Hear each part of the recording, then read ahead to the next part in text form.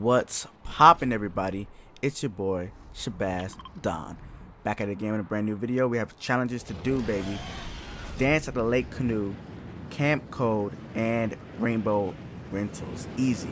Boom, we're gonna get right into it. We're not wasting any type of time, okay? Run over here real quick. Boom. That's it. Next, fly over here. I already marked it. This if it's if I'm going too fast, just pause it. The pause button's there for a reason. Just pause, okay? Boom, here, dance. Or I just flex. How about that?